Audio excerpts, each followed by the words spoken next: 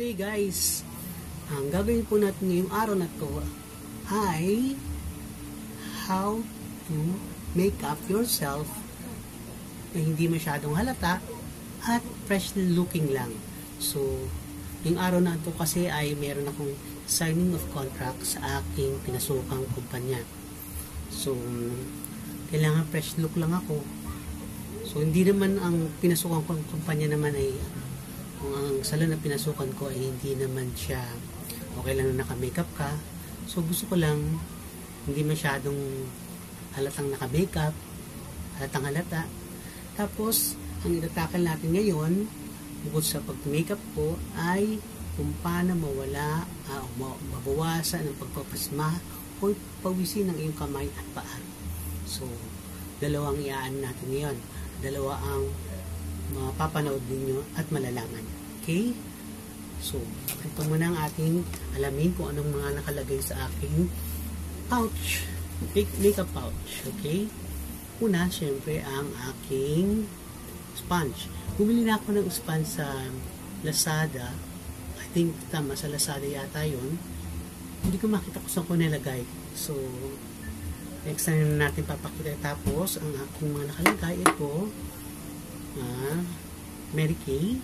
Ito yung After Sun. Okay? After Sun to. Ano, kung makikita nyo, After Sun yan. So, uh, kapag galing ka sa initan, nilalagay ko yan para hindi. Before nga pala ako mag, ano, magpakita sa inyo kung anong nakalagay sa pouch ko, maglalagay muna tayo ng moisturizer. Ang moisturizer ko ay Myra E. Okay? Para saan ba to? Para hindi magayang yung skin, yung facial skin mo, dahil sa mga pinaglalagay mong makeup kahit light pa siya. Okay? Kasi lahat ng makeup, meron siyang alcohol. Yun ang nakakadry ng skin. So, tama lang, dapat hindi masyado rin. Papa-absorb lang natin to. Tapos mamaya maglagay tayo ng iba pa natin ilalagay sa mukha. Okay. Una, ang foundation ko is Passion 21. Okay? Ang kanyang yan, Passion 21 number 6. So, yan, kung makikita niyo siya, hindi masyadong maputi at hindi rin masyadong dark. So, kasi ang skin ko very clear. So, kailangan mamimili kayo ng foundation niyo na ayon sa inyong skin tone. So, kailangan hindi masyadong maputi. Okay? Dahil hindi naman ako magpa-foundation, ang gagamitin ko ay concealer lang. So, itong gamit ko naman. Maybelline Super BB Cream. Yan. BB Cream tayo. Okay. So, hindi pala siya ano, concealer. BB Cream siya. Okay. Hindi tayo gagamit ng ng concealer. Hindi rin tayo gagamit ng foundation today. So, ang gagamitin ko lang ay instead ng Ever Bilena na natural color makikita niya, natural color siya. Okay. Autofocus. Yan. And then, brush. Okay. Ang aking concealer, pero hindi natin gagamitin. Pero pang Passion 21 po ang ating tatak, no? Okay. So, beige po siya. Okay. Aking lipstick. Aking blush on ang aking pang contour ang aking set of eyeshadows from Passion 21 so Passion 21 muna ang ating mga ginagamit. Pero okay din naman to. So hindi naman siya ganun ka ayan. So marami siyang set of eyeshadow color. Okay? Ang ating pang kilay ay ang aking deep brow pomade from Anastasia. Okay. So, ito ang itsura niya. Yan, guys. Yan. Auto focus. Yan. Yan ang ating mga set of brushes. Yeah. Sorry. Yan. Ang ating primer. Primer. Primer. Slate. Sassy lady yata ang tawag dito o face lady o sassy mas maganda pakinggan ano? Yan ang ating liquid glow says sassy lady din dyan. So gusto ko medyo uh, kumikintang kinang. Yan NYC ang ating lip gloss. Pero hindi ko gagamitin tong ating uh, lipstick or liquid lipstick nito kasi nga uh, ang ating lip gloss sa kabila na to kasi medyo dark yan. So ang gagamitin natin lang ay natural. So depende yan sa okasyon. Ang mga eyeliner yan. Okay simulan na natin guys. So ang sisimula ang unang natin gagawin ay ang primer. Okay? So the best thing to do is dito lang maglagay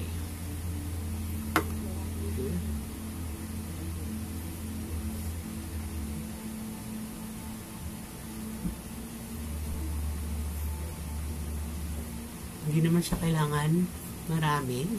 Kailangan nga lang i balance mo maigi. Yan guys. So balance ng kailangan.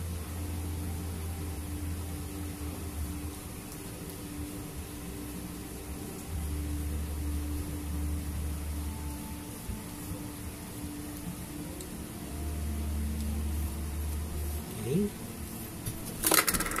tayo ng konti.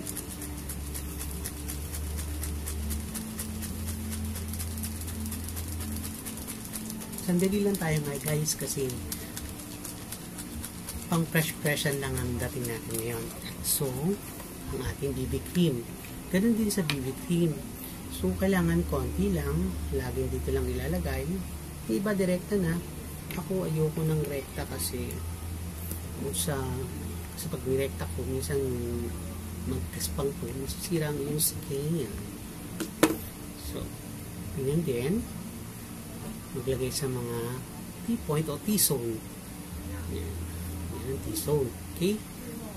So, pwede kayong gumamit ng kamay at pwede rin naman ng sponge. So, I prepare a sponge.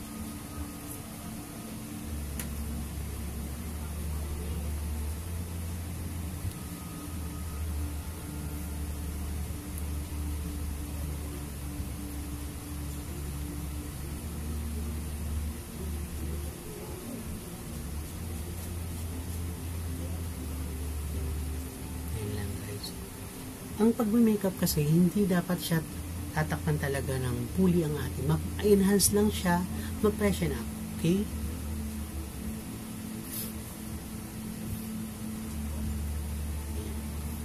So, pwede rin tayong gumamit ng konting concealer sa eye area. Yan. Okay.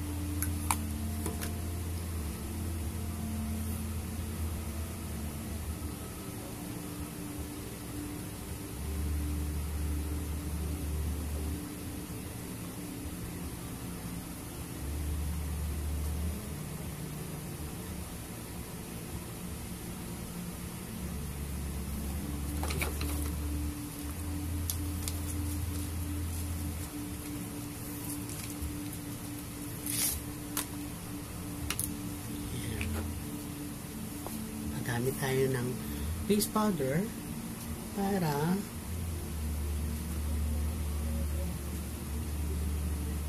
hindi masyadong ating uh, magkaroon tayo ng base sa paglalagay ng ating kilay. Okay?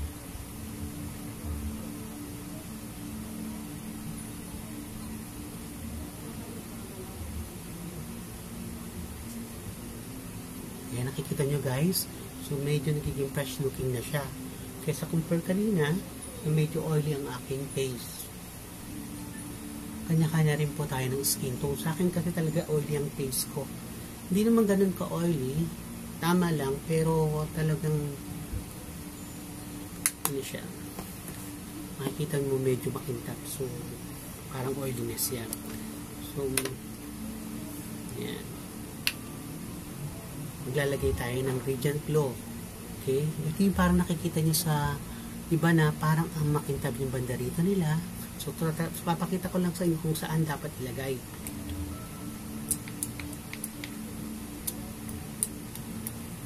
Yan, konti lang dapat. Hindi po dapat marami kasi pangit po yung sobra-sobrang dami. Okay? Dito po. May salamin din kasi ako dito kaya dito ako titingin. Pasensya na guys, hindi ko kayo masyadong tinititigan kasi dalawa yung aking tinitignan yung camera at ang salamin na nasa harapan ko. Tapos dito, ano ba tawag dito? Nose grill yan. Tapos pwede ka rin maglagay dito. Yan.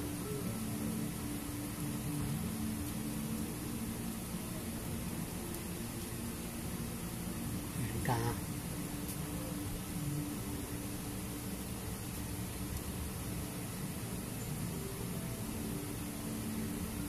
Dyan.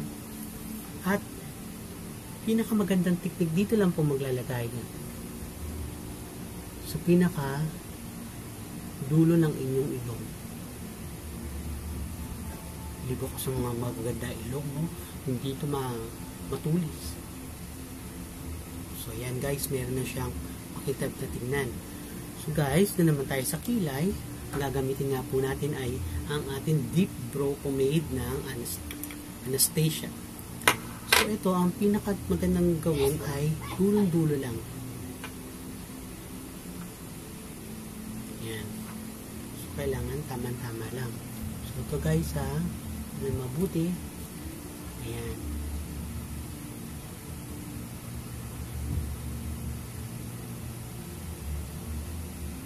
So huwag masyadong hihilayin ang ating kilay kasi bumababa to. So dapat ganyan lang. Okay? Tapos sa kabila din. Ayan, guys. Susundan lang kasi sa mga lalaki, hindi kailangan kitang-kita na contour na contour siya.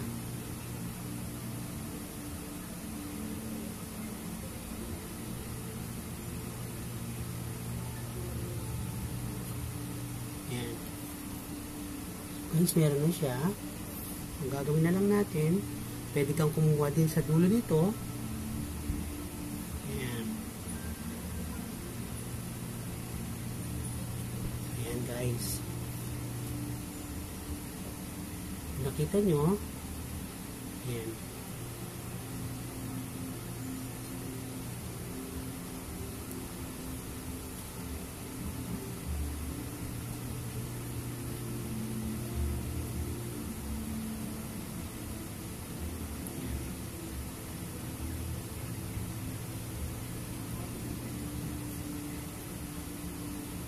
So, ayoko makita na masyadong ano ko, ah, ayos na ayos kumbaga.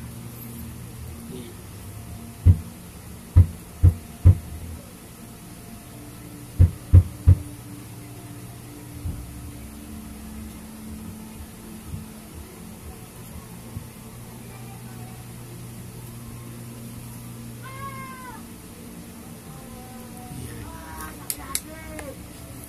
Pasensya na kayo sa kapitbahay ko medyo maingay sila. So, yan. So, tissue off lang natin yung mga sobra. Okay. Ayan guys. So, ito na tayo sa ating face powder.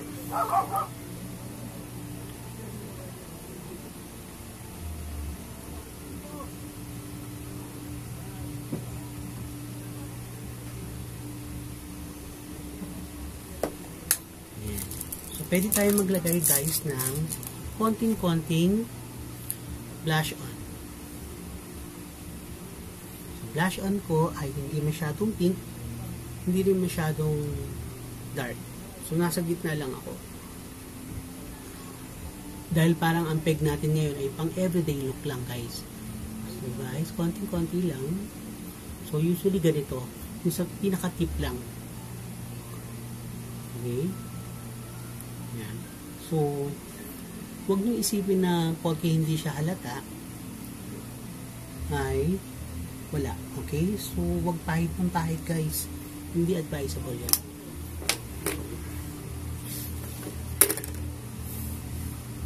Yan. So, maglaan na tayo ng konting lipstick.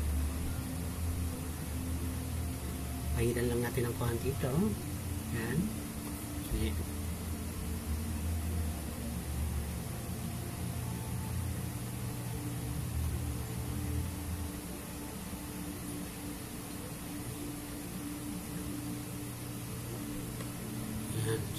Guys, yan. Tissue off ng konti para mabawasan yung pagpawag. Ayan guys, nakita nyo? So, ayan. So, niligay na tayo ng lip gloss. Marami akong lip gloss dito eh. Hindi ko alam kung nandito. Okay. Okay guys. Ito na lang munang gamitin natin. So, medyo nawala. So, natural lang siya.